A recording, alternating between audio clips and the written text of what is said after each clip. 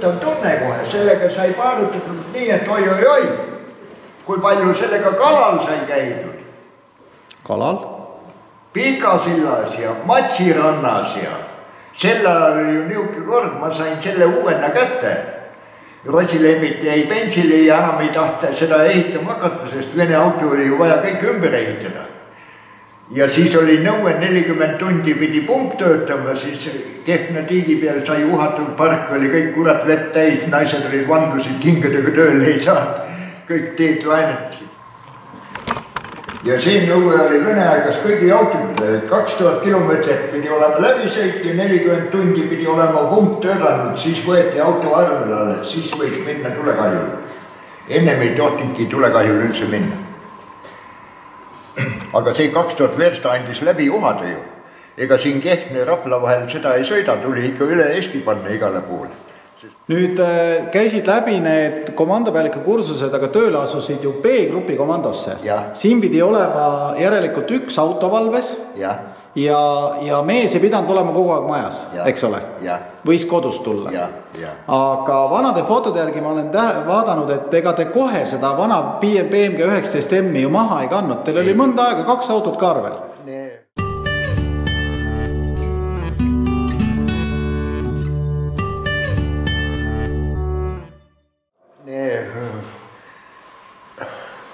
Kui ma valetan sulle, kas kolm või neli aastat olid nad paralleelselt. aga kas see oli probleem, et kaks autot hoiti arvel või, või see ei olnud? ei olnud, ei olnud, see ei olnud. Äh, ega väga palju ei olnud B-grupi komandosid Raplamaal, kellel kaks autot. sellest nad olid mõlemad Kehtna sovhoosi autod. Kehtna sovhoos olid nad välja ostnud. ja, ja selle, sellega tuletõrjeühing ei saanud seda keelata ega käskida, kas me kanname maha või, või mis me teeme selle autoga. aga kolm, kolm või neli aastat olid sul mõlemad autod siin ja, komandos? ja, ja, ja sõitsid välja siis peaasjalikult viiekümne kolmega, aga kui vaja oli, võtsid teise auto ka kaasa või? aga millal oli vaja teist autot? näiteks suurem tulekahju oli siis jällegi, siis paakautos ei olnud, oli vaja lihtsalt vett vedada. ja see teine auto oli sellest hea, et temal oli pump alt sisse imemisega, tema tõmbas, tõmbas ka alati raudselt igalt poolt vee ülesse aga milline auto, millise auto pump ei olnud alt sisse imemisega? viiskümmend kolm näiteks ei ole, sill ei ole alt imemise. mida sa selle alt imemise all silmas pead äh?? mida sa selle alt imemise all silmas pead? no ma näitan sulle või? no. siin ei pääse ligi, sellist ei tule rappi äh?. sellist ei tule rappi no lähme kuuekümne kuue peal on kohe punkt näha.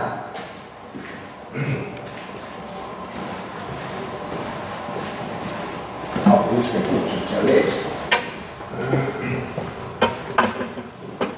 näed, selle, selle pumbal on väljalöömine siit keskelt ja teine alt. aga viiekümne kolmel ja sillil on väljalöök ülevalt mõlemist poolt. ja see on kumba ehituse juures suur eelis, kui on alt väljalöömine. sest nüüd, kui imed, kui vesi tuleb sisse, siit saab alt minna kohe vesi välja voolikusse, ei teki õhukotti, aga kui tuleb vesi siia pumpa sisse ja nüüd peab minema üles ja ülevalt välja voolikusse, vot nüüd tekib õhukott. ja kui see imemine ei ole ideaalne, siis võtab selle õhukoti vahele, siis nii kui lased veekolksti tagasi ja pumpas on jälle õhk sees. näed, siin, siin sa näed kohe ilusti.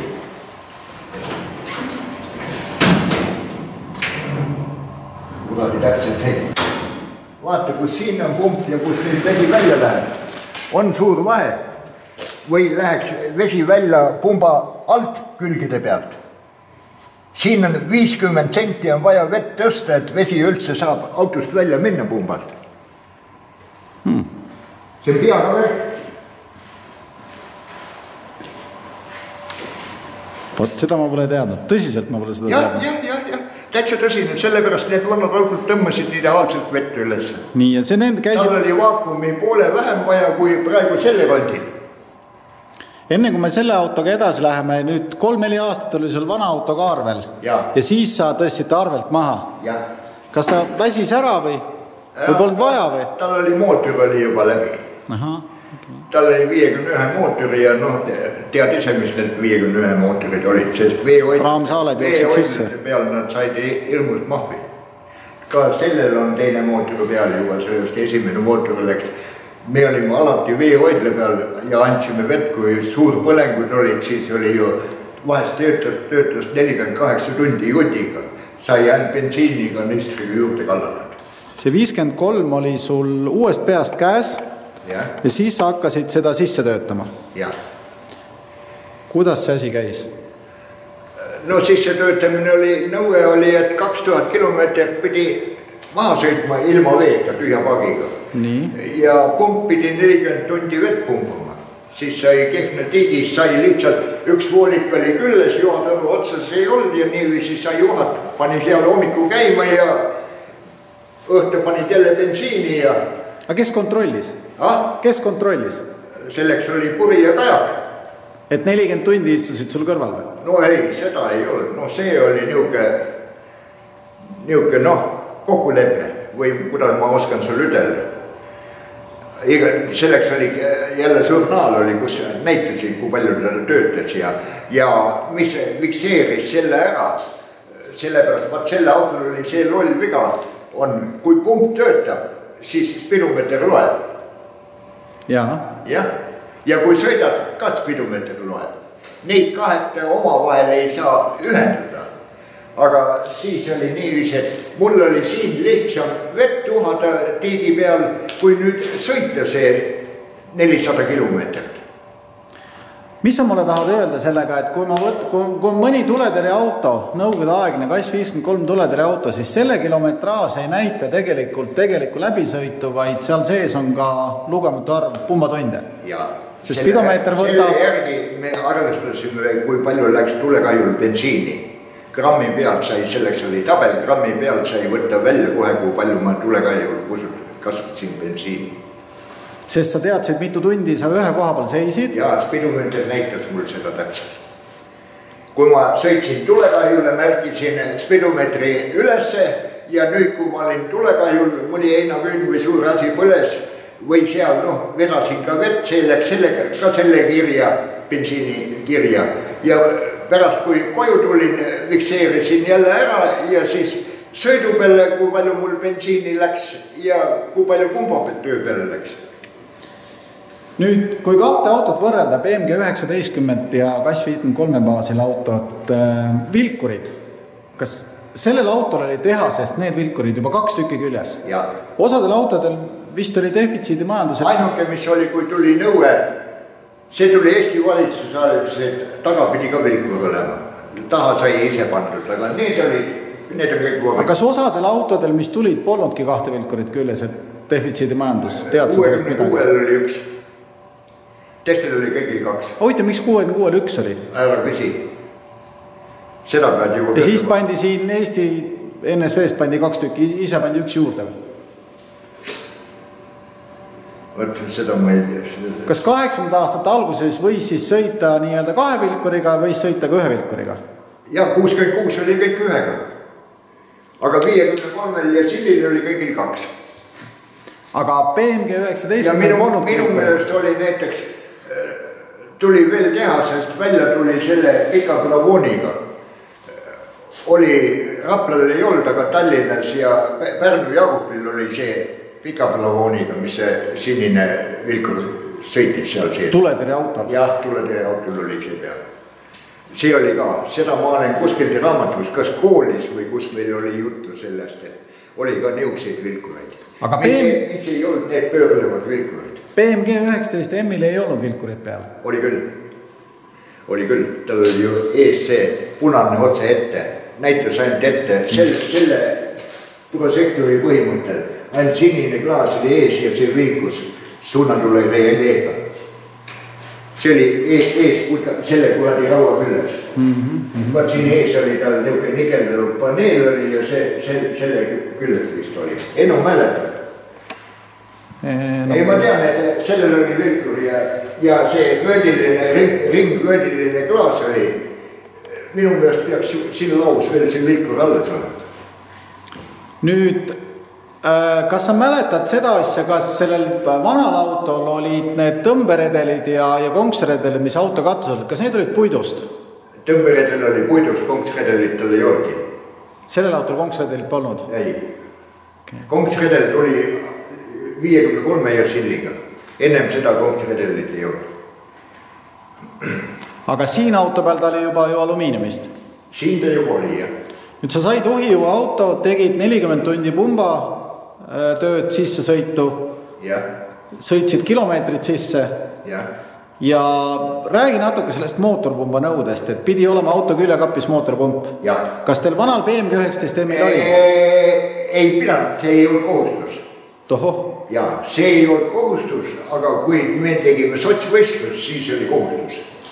sotsvõistluse tegemisel oli kohustus ja vana, vana BMW oli kuussada mootorprits. ja kuhu vahi. jah, näe, see ongi originaal jah. see. see on orgi-, originaalfilter sellesama koksiku sees. tehase klaasiga. see on tehase oma jah. Ja sama, sama tavaauto pirn käib sisse. mis eeski oli.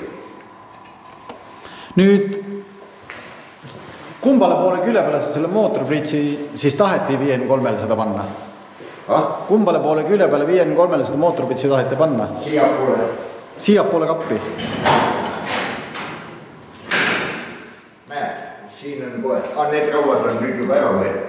Siin kohtas oli, mootoriprits sai ümber ehitatud natukene, muidu ta ei mahtunud lihtsalt sisse ja siis. kõrguse poolest või sügavuse poolest? kõrguse poolest ja asja pikkusega siin oli meil veel see vooliku paravann oli jagajad ja need asjad pidid mahtuma ka veel siia kõrvale. ja ju joatorud olid veel siin. aga mootorpumba sa ehitasid ümber, kuidas, et ta sinna sisse mahuks? jah, mootorpumbal sai alumine jalg sai ringi tehtud kitsamaks. vaata muidu läks see laiali ja sangad läksid ka natukene laiali. Need said tehtud kõik nii, et sama pumba paksus ja summutajal oli see mootori vahetükk oli kuskil, ma ei tea, seitse-kaheksa sendi pikk, see sai tehtud kolme sendi peale, muidu ei läinud luuk kinni, näe, siin on luuk on veel õõr peal, muidu läks vastu summutajad. Mis see ametlik põhjendus oli, miks pidi autol kaheksakümnenda aastate alguses olema kantav mootorprits kaasas? Äh, sellepärast, et igal pool ei saanud autoga vee ligi, siis said mootoripritsiga täita autod. või ka tulekahjul said autod mootorpritsi kasutada. oli sul selliseid väljasõite ka? oli küll, kärus oli, ei olnud kärus. see oli kär-, kärus, kärust Vändra peale, mis see on? Võidula äh?? Võidula? ei ole. Jõeküla? Jõ-, voh, Jõekülas kasutasime mootorpritsi, sellepärast ei saanud jõest, oli nii pikk kallak, et kahe immiga vett välja ei tõmmanud. no ei ulatanud ja autot kallaku peale lükata ei julgenud sellepärast sealt ei oleks enam üles tulnud. meil on maakonnas säilinud üks hästi omapärane mootorprits, äh, mis on metsasüsteemist pärit. see on truspa mootoriga ujuvpump. Kas sina kaheksakümnenda aastate alguses ka kuskil sellist nägid uh,? ujuvpump äh, äh, ei, ma ei näinud teda, aga kooliprogrammis olid need sees, koolis me õppisime koolis õpetati kaheksakümnendate aastate alguses ja. ujuvat mootorpritsi, Nõukogude toodangut. ja, ja Truspa mootoriga oli. ja siis oli Truspa mootoriga olid veel niisugused väiksed pumbad, mis oli maa peal ja imivoolik oli väike no see oli vist selline tüüpi naljakas imivoolik, kus olid mootoripööretest tross läks alla välja ja siis nii-öelda vist see propeller oli koos imisõela sees või? kuule, ma ei mäleta enam sest on nii palju, nelikümmend aastat tagasi ma ei, kõike ei mäletanud ja vaata, neid asju ei õppinud ega ei teinud selgeks ka, mida meil kohe otseselt vaja ei olnud. kui palju sa seda autot enda käe järgi ümber ehitasid uuest, uuest peast? päris palju, päris palju. ühesõnaga faktiliselt kõik, sellepärast neid tuletõrjeautosid ehitasid vangid. nii? auto pool ja raam ja sillad tulid tehasest, autotehasest viiekümne kolme, aga ülejäänud on, näed kõik, mismoodi on tehtud. tegid juba vangid, puuuksed on mis kukuvad eest ära, kõik on puuuksed kruvidega pandud, kruvid kukuvad kogu aeg. Siin sai summutaja torud ringi tehtud, sest mehed ei saanud, summutaja toru käib siit läbi, seal on sõelad peal. ajas nii palju vingu sisse, et mehed ei saanud kabiinis istuda ja ise ka ei saanud, sest ühendus oli esikabiini, ajas vingu sisse ja no siin mootorpritsi jaoks said siia raamile tehtud tugevdused alla kõik see raam ja see sein sai tugevamaks keevitatud. Muidugi teine pool sai ka tehtud kohe. ja siin muud ei olnud. põhim, põhimine oli see äh, sumbutaja süsteem, vaakuminsektor ja pump. pumbaga oli kõige suurem töö, sest pumbal tulid Simmelingi tihendid ringi ehitada et vaakumi pidas. imis, voolikud tulid ringi teha, sellepärast need ei pidanud vaakumi ühenduskohad. ja imisõel tuli klapid ja värgid ära poleerida, imisõela panid maha, kallasid vett täis, pidi vähemalt seisma viis minutit, et ühtegi tilka põranda peale ei tulnud. siis oli imisõel õige, siis tõmbasid vee üles igal ajal, igal ajal. kui oli tulekahjul keerati joakraanid kinni, vett ei kasutatud. Ei olnud mingit probleemi, et kui vett kasutati, et pidid hakkama uuesti vaakumiga vett üles tõmbama, sest vesi seisis üleval kogu aeg. muidu kõigi autodel oli see viga, kui joatorud kinni keerati, siis lasi pumbast nii palju vett tagasi läbi imisõela, et pidi jälle uuesti imema, kui vett taheti räägi korraks meeskonnaruumi kütmisest, et ving käis sealt läbi, kuidas see summuti siit läbi jooksis? Autosummuti jookseb läbi siit selle võre all, näed. jookseb läbi, summuti püksid tulevad seal putka all kokku ja siit tuleb see taru tuleb ülesse ja sealt tuleb alla ja tuleb vaakumi, vaakum on siin ja siit vaakumist läheb ta taha. ja tagapumbaruumis oli nüüd ka soojendus, samamoodi summutaja läheb, tuleb siia taha pumbaruumi, siin on nii pikk jupp toru, millel on need seivid ümber, mis soojendas nüüd talvekülmaga pumbaruumi ja siis läheb sealt nurgast välja. Neil oli peal ka jahutussüsteemil oli, oli sihuke eraldi suur alumiiniumkopsik ja torud jooksid taha, mis selle see põhimõte jah, oli? jahutas vahekasti ja käigukasti. vahekasti jahutas see, käigukasti jahutas tiivik, käigukasti tagaotsas oli samasugune tiivik nagu ees radiaatori ees on mootoril. oli käigukasti taga, mis jahutas käigukasti. kui kruusatee peale panid, näiteks auto seisis ja panid eh, tööle, pump, pumba tööle, siis igavene tolmupilv käis auto alt välja, sellepärast see tiivik lõi kõik tolmu minema. kas sa selle tiivika jätsid autole külge või võtsid ära? Eh, see oli küljes. see oli küljes, selle, sellega juhtus niisugune kurb asi, et see jälle tuletõrjeautod käisid tehnoülevaatusel ka. ja siis oli vanas autobaasis oli tehnoülevaatuspunkt, mitte seal, kus ta praegu on, vaid vanas seal taga kanalite peal. ja ise oli kanalis ja käskis auto seisu, käima panna, ma ütlesin, et ma ei pane käima, tule kanalist välja. ei tule, ma tahan näha, kas summutitorud peavad. nii kui ma käima panin, siis hakkas hirmus kisa peale no lõi kõik selle kana-, aastaid seisnud kanali tolmu lõi ju kõik lahti, tal ei olnud hingatud, ta ei näinud ega midagi, muidugi ma teadsin, ma keerasin kohe süüte välja uuesti. peale seda ma ei käinud kolm aastat seal kanali peal. õues tehti ülevaatus ära aga mis, äh, ühesõnaga käisid poldid, mootorid kõik kinnitasid, kõik asjad käisid uuele autole üle. ehitasid külge mootorpritsi kaheksakümnenda aastate alguses, kas sa midagi veel põhjapanevat selle auto juures muutsid? Äh, äh, ega suurt ei muutnud. Äh, vooliku, voolikuid ei muutnud neid ka, aga kohti sai juurde tehtud, kus sai vahetükke pandud mm. -hmm. Te, teisel pool kapis või sinna ei pääse ligi praegu mm. -hmm. seal sai tehtud seina külge lihtsalt niisuguseid junne, kus olid, vot igasugu vahetükke oli vaja. olid vahetükid kõik reas ja joatarusi oli ka rohkem vaja muu, muud, muud ei olnud ja siis sai see valgustus tehtud. Dünamo pealt, dünamo on talle ringi pandud, dünamo on tuhandevatine, dünamo on seal peal. mis suutis selle prožektori tuleb, seal on prožektori klaasid ees ja pirnid see andis kõva valgust ja see mast annab tõsta üles kuni viie meetri peale. see mast käib järjest välja. kas see valgusmast, mis sul seal küljes on, kas see on sul kaheksakümnenda aastate algusel leiutis või üheksakümnenda aastat, siis kui juba Eesti Vabariik tuli? ei, kaheksakümmend. Kaheksakümnendad? ja, ja. olid sa, olid sa ainus maamaas? Eesti, Vabariigist tulid ju juba generaatorid, siis ei olnud enam seda vaja. aga olid sa üks, üks ainuke auto, kellel selline lisavalgusmast peal oli? jah ega teistel ei olnudki kellelgi. huvitav, miks sealt panna ei tahtnud? oota, ma jään vastuse võlgu või oli Kaiul ka tehtud peale? kuule, jään vastuse võlgu. minu meelest mul tuleb nagu silm ette, et kellelgi oli veel. Tule Kaiul, me näitasime. viie meetri kõrgusele, keera kuhu poole tahad ja autogeneraatori pealt sai voolu. aga see generaator pidi spassbussi oma olema või? ei olnud saja viiekümne, saja viiekümnel oli tuhande vatine dünamo saja viiekümne dünam on siin peal. aga seal sees on sul ka kapis kaks tuld, need käisid sul kuhu? Need olid jalad on meil siin. nii.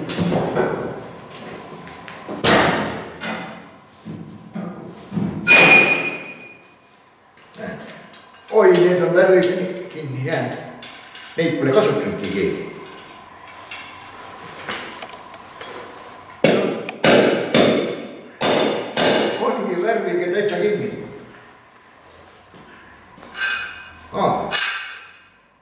peaga värki ka ei mäleta enam, nelikümmend aastat tagasi. Need ise tehtud sul? näed, see käis siit kinni, klõpsti, see käis hoonesse sisse püsti ja siia otsa käis kohe lamp. näed, see näitas valgust ja see käis pikendusjuhtme külgi ja sai siia panna. no praegu ei ole voolu sees, aga sul on siin praegu moodne kahesaja kahekümnene pistik. Nõukaajal oli ka kahesaja kahekümnene pistik või? jah, see on lihtsalt noh, ise tehtud, kasutatud seda tavaelektripistikut hmm.. jah, aga muidugi kaksteist volti on, siin on pirn ja kõik on kaksteist volti mm. -hmm kas kellelgi veel nii põhjalikult ümber ehitatud autot rajonis oli? mida? kas kellelgi veel nii põhjalikult ümber ehitatud autot rajonis oli? üks Kaiul oli. Aga kutselisel? Need, need ei saanud vettki üles, veel vähem midagi muud. kuida nii? no ei saanud ju kõik, noh, ega muidu umbes Kehtnad ei kutsutud. kui suurem tulekahju oli, siis oli vaja kohe Kehtnad, et oli kindel, et vee üles saab kuskilt veehoidlast või, või kuskilt kuradi silla pealt oli jõest vaja võtta või, siis oli ainuke auto oli üldse. nii, aga nüüd. ei saanud Kohila Järva kandi ega. Sai. no see oli õnn, teinekord said üles, teinekord ei saanud. oleneb, mis mees peal oli